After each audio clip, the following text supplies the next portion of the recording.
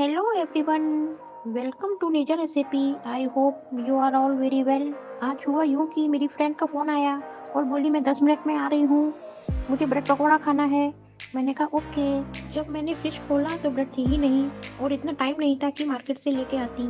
तभी मुझे याद आया कि मॉर्निंग की बची हुई रोटी रखी हुई है। उसी से मैंने एक आइडिया लगाया और वही रेसिपी आप लोगों को शेयर कर रही हूँ।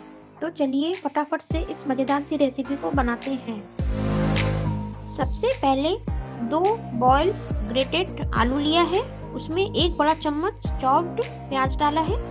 अगर आप प्याज नहीं खाते तो स्किप करते दें अब इसमें एक छोटे चम्मच कटी हुई हरी मिर्च और ग्रेट किया हुआ अदरक को ऐड किया है। आधा चम्मच धनिया पाउडर, आधा चम्मच लाल मिर्च पाउडर, आधा चम्मच गरम मसाला, आधा चम्मच आमचूर पाउडर और नमक को स्वादानुसार ऐड किया है। और इन सबको अच्छे से मिक्स कर लेंगे।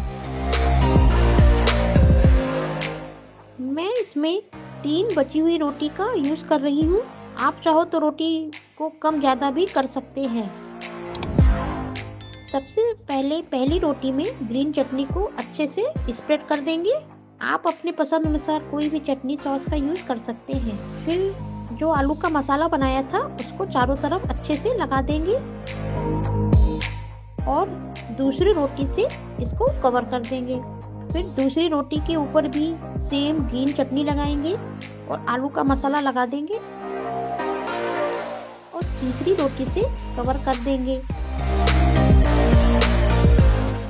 मैंने इसको आठ हिस्से में काटा है।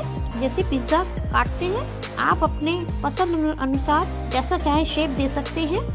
अब एक बैटर बनाएँगे। उसके लिए दो बड़ा चम्मच बेसन और एक बड़ा चम्मच चावल का आटा लिया है। एक चौथाई चम्मच हींग, आधा चम्मच लाल मिर्च पाउडर, एक चौथाई चम्मच हल्दी पाउडर, नमक स्वादानुसार, एक चौथाई चम्मच जीरा, एक चौथाई चम्मच अजवाइन। इन सबको अच्छे से मिक्स करेंगे। अब इसमें तीन चौथाई कप पानी थोड़ा थोड़ा डाल करके एक गाढ़ा सा घोल बनाएँगे। इसका घोल पकौड़ों के घोल से थोड़ा सा गाढ़ा बनेगा और ये परफेक्ट माप है।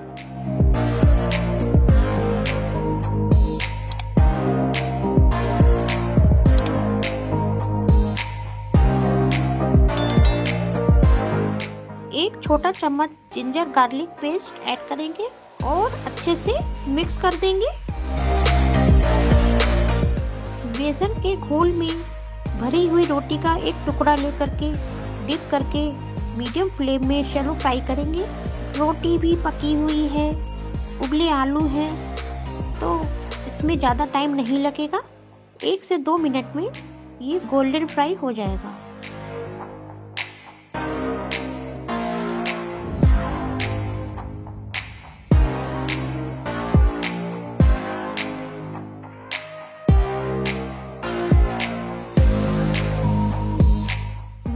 लीजिए तैयार है। बिना ब्रेड का ब्रेड पकौड़ा।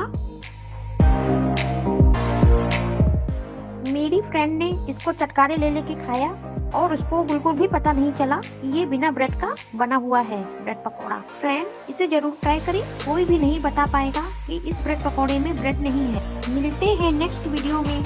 अगर रेसिपी पसंद आई हो तो प्लीज़ लाइक शेयर और सब्सक्राइब ज़रूर करें। Thank you take care and bye bye